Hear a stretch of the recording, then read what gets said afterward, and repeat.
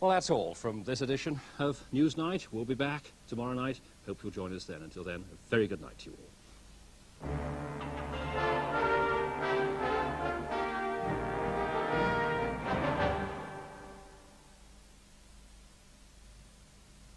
And now a quick look ahead to programmes on to tomorrow evening.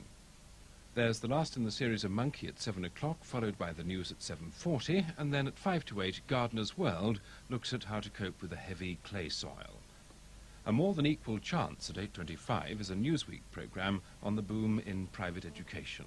And at 9 o'clock in Call My Bluff, Joanna Lumley and Christopher Cazenove join Frank Muir, and Cara Wilson and Tom Conti are with Arthur Marshall. Playhouse at 9.30 is the first of a three-part play by William Trevor. Elizabeth Alone, with Barbara Ferris as a middle-aged woman looking back on her life with a heavy burden of guilt.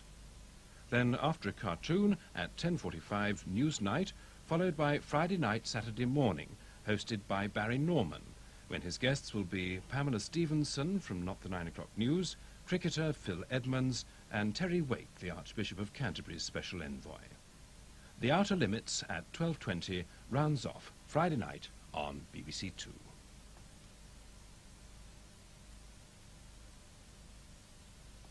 Well now, the time.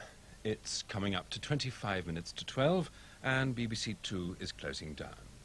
A quick reminder that Radio 2 will be on the air all night and at the moment you can find Brian Matthew with Round Midnight.